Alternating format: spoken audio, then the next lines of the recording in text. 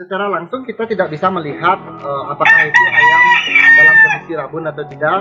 Ya. Jadi kita perlu melakukan pembersihan, Ya. pembersihan pada mata ayam. Untuk informasi produk Costa Bali, kalian bisa hubungi kontak di bawah ini.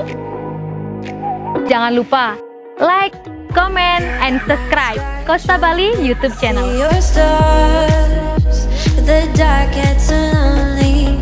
Now I see violet, Konten kita kali ini kita akan memberikan edukasi tentang Oxydrop, ya, tetes mata ya, untuk mengatasi mungkin ada rabun, Iritasi, ya, betul, ya. iritasi pada ayam. Kita cukup teteskan satu tetes saja. Ayam akan mendapatkan sorot mata yang lebih tajam. be mine. Kalian bisa dapatkan produk dari Oxydrop dari Costa Bali di seluruh Kabupaten Pulau Bali. Salam sehat untuk kita semua, salam smart. Night sky.